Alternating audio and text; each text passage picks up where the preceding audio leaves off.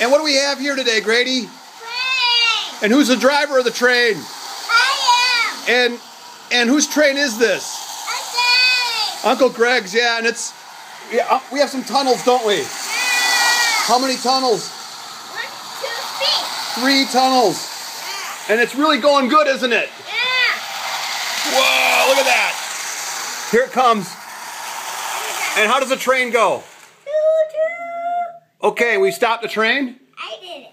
Okay, thank you.